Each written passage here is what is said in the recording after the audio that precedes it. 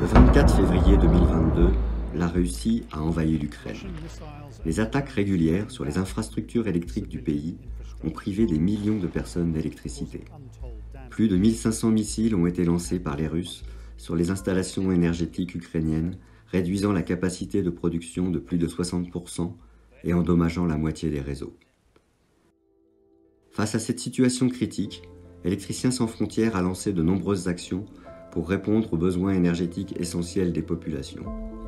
En partenariat avec le Centre de crise et de soutien du ministère de l'Europe et des Affaires étrangères, et grâce à l'appui de nos partenaires de la filière électrique française, Électriciens sans frontières est mobilisé depuis le début de la guerre pour apporter son expertise et fournir rapidement des solutions pour ramener la lumière et la chaleur.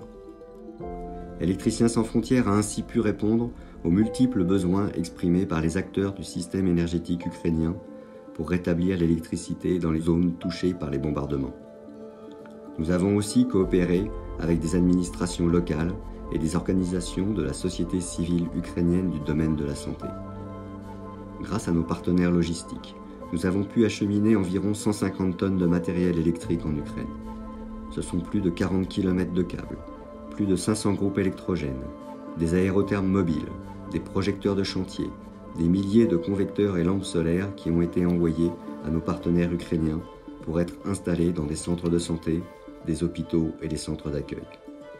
Des kits électriques ont également été distribués dans des refuges anti-bombes et des orphelinats. Pendant l'hiver 2022-2023, environ 300 centres collectifs auront ainsi bénéficié de matériel électrique envoyé par Électriciens sans frontières. En Ukraine, nous avons également dispensé des formations à des techniciens et nos bénévoles ont aussi apporté leur expertise pour connecter les groupes électrogènes à la demande d'ONG urgentistes afin de répondre aux besoins humanitaires. Par ailleurs, notre action ne se limite pas au territoire ukrainien. Plus de 8 millions de civils ont quitté l'Ukraine pour chercher asile dans les pays limitrophes. Grâce au soutien de nos partenaires et aux bénévoles d'électriciens sans frontières, 29 groupes électrogènes de secours ont ainsi pu être installés dans des hôpitaux en Moldavie pour renforcer leur résilience et leur capacité d'accueil. Grâce à l'engagement de nos partenaires, de nos donateurs et de nos bénévoles, Électriciens sans frontières continue d'œuvrer pour que la population ukrainienne ait accès à l'électricité et aux services énergétiques essentiels malgré la guerre.